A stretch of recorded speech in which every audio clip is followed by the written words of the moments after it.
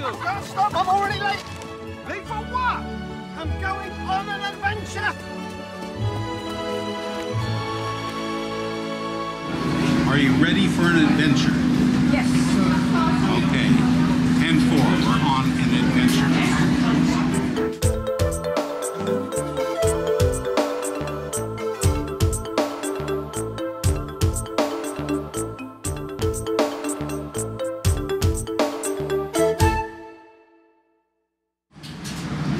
Tess and I today are on an adventure from Kavala, where we're staying. We came to Keramoti by bus. Keramoti is the port which will take us by ferry to Thasos Island, and that is our adventure for the day. There are beaches there if you want to go swimming in the Aegean Sea. That's a place where you can do it. I just wanted to also let you know that this is a great budget idea. If you wanted to go to one of the island, one or more of the islands of Greece, if you leave from Piraeus Port in Athens, it's going to cost you a lot of money. Even the closest islands, there are tours that you can take uh, that will take you to three islands in a space about six or more hours. But that will cost you $125 at least. That's per person. What we're paying from Kavala, we paid five euros a piece in order to get to Keramoti, another five euros a piece to take the ferry, and then the same coming back. So for a total of about $40, the two of us are getting to go to the capital of Thasos Island, which is called Thasos. If you're taking the three island stop, you're going to pay 125 euros, that's 250 euros, in order for you to have the same adventure that you can spend 40 euros on. So that is my budget suggestion for the day. Do it and enjoy and save money. In our previous video, you may remember that the ancient city of Philippi, where the Apostle Paul planted the first European church, was founded by the people of Thasos Island around the 7th century BC. But Thasos has a history of its own. From earliest antiquity, the walled port held significant status. In fact, the city-state possessed the second largest navy behind that of Athens, until King Darius I of Persia conquered the northern coast of Greece at the beginning of the 5th century BC. The old harbor had held 60 trireme warships, but the Persians forced the city to destroy their own navy. Today, Thasos, the northernmost Greek island, is a favorite vacation destination for Europeans who arrive primarily by ferries from the mainland to enjoy the many beaches, delicious cuisine, nature, and archaeological sites.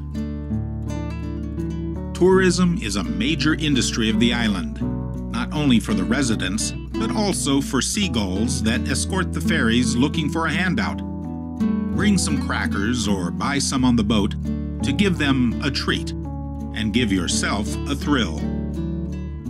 The fact that visitors can bring their own cars and drive around the island only adds to its popularity. But one does not need a car to enjoy a one day trip to Thasos town, known locally as Limenas. Most tourists step off the boats and head directly for the beach, but a casual walk through the village holds pleasures of its own.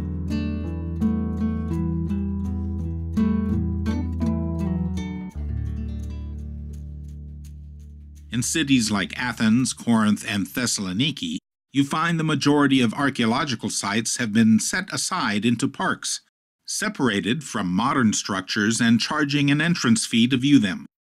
Not so in Thasos. The ruins are intermingled with modern apartments, homes, and businesses. Turn a corner, and you may find the foundations of an ancient temple or broken arch. In most cases, anyone can simply walk down into them to explore. This was the case when Tess and I located the sanctuary of Heracles, the temple of Dionysius, and the Odeon of Thasos. New antiquities are still being discovered in ongoing digs. For those willing to climb further afield, the Acropolis Theater presents an excellent view of the village and harbor. And don't forget to see the large ancient agora by the shore. There is no charge to explore this expansive site. But if you really want to pay for something, the excellent Archaeological Museum of Thasos charges just 4 euro per ticket during the high season and half of that during the winter. The ancient city of Thasos was a marvel to behold. Its major buildings were built with white marble from the Aliki quarry at the southernmost tip of the island. Most of us have seen photos of the whitewashed houses on Greek islands, but imagine the capital of Thasos brightly gleaming without the paint.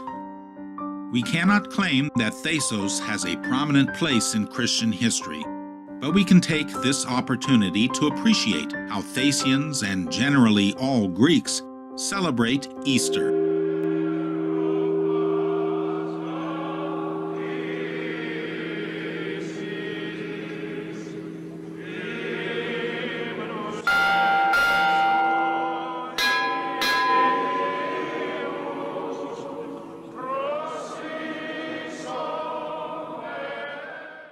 Greeks take Lent and Holy Week seriously.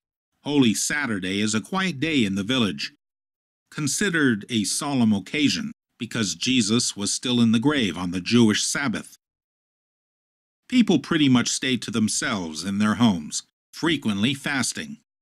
But at the end of the day, Thasians often go to a local pub or eatery to consume the traditional soup called magiritsa which is made from the innards of a lamb or goat. The rest of the animal will be consumed the next day.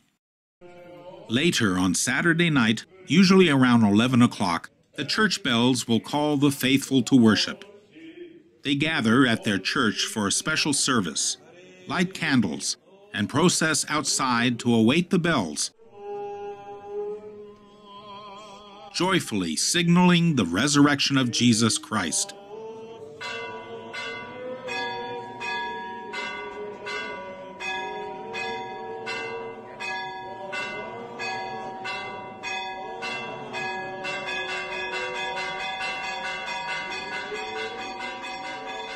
The Bible tells us that because Jesus rose from the grave, Christians have the secure hope that we also will be raised from the dead. The rest of Easter Sunday is a time for family. Outside almost every household, you will find lamb or goat roasting over a fire. Music will be heard throughout the village, and at some point, boiled eggs, which are always dyed red, will be employed in a kind of competition. Family members and friends will tap them together, and whoever has the final unbroken egg is said to receive a special blessing for the year. I hope this video has been a special blessing for you, and that you will bless us with a like, by subscribing if you haven't already done so, by tapping the notification bell, and sending us your comments. God willing, more obscure Christian history videos will be forthcoming. May God bless.